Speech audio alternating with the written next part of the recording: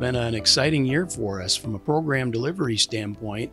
We're still de- uh, delivering some of the largest programs in our history, largely because of President Biden's uh, Infrastructure Investment and Jobs Act, but also Governor Whitmer's Rebuilding Michigan program. We've been able to deliver some extremely large projects on our high volume, high value economic freight corridors throughout the state.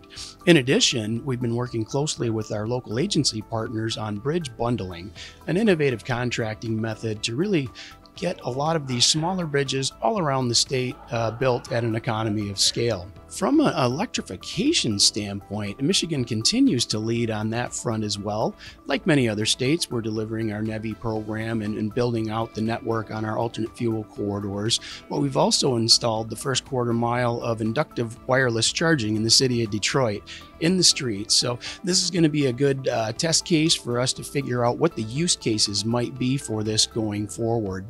Uh, in addition, on mobility itself, we've installed our state's first high occupancy vehicle lanes on I 75 in Metro Detroit. In addition, we're building many more miles of our flex lanes that are going to help on I 96 and US 23 with congestion in the future. So I, I, look forward to talking to you again next year because we have a lot going on as well in the V2X and connected autonomous vehicle space, working closely with a company named Cavnue on providing an autonomous driving lane on I 94. So lots of great things going on in Michigan.